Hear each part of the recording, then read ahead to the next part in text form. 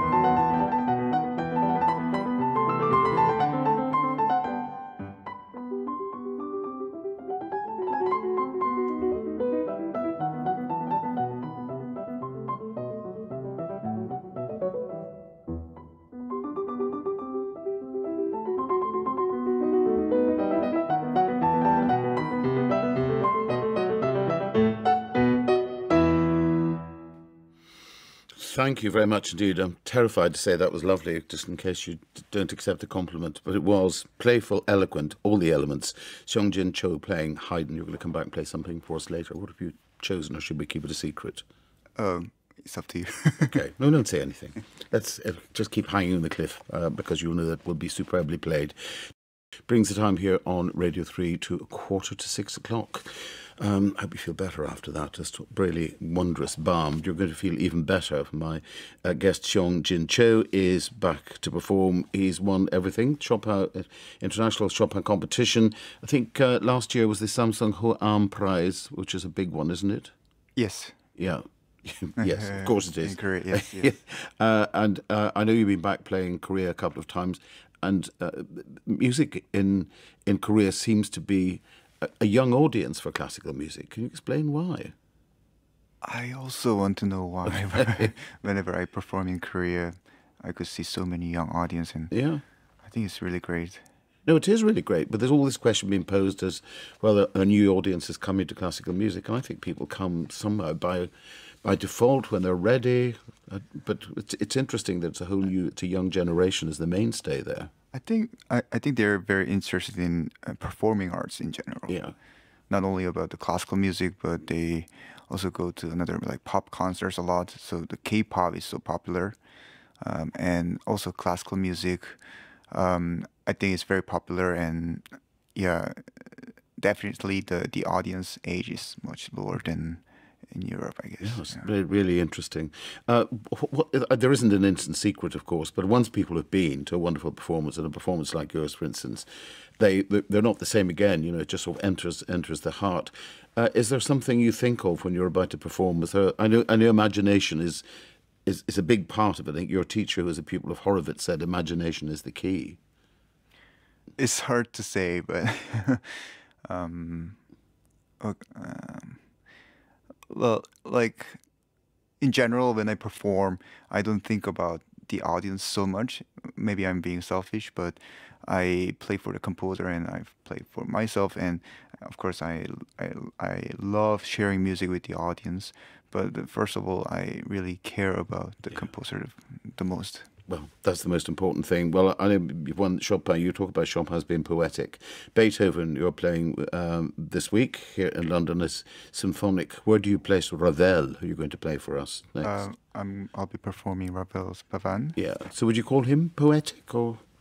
Oh yeah. Um, his music is uh, poetic, and I'll I'll be performing the complete Ravel's piano music next year for recital. Okay and I've been I've been learning this uh, music, Ravel's music, since I was a kid, and and I studied in Paris, so it is quite natural for me. Yeah. And yeah, he. Uh, it is interesting to see how the how music has evolved through time, and his early work is totally different from his late yeah. work, like uh, Tombeau de yeah. Well, we're going to hear the the the Pavane pour enfant défunt, imagining a young princess dancing, maybe popping out of a painting by Velasquez. But he says it's it's it's a pavane for a dead princess. It's not a dead pavane, so it's got to have elegance and life, doesn't it? Yeah. Dance. Thank you. I'll let you dance your way to the piano, Seong Jin Cho. Thank you very much.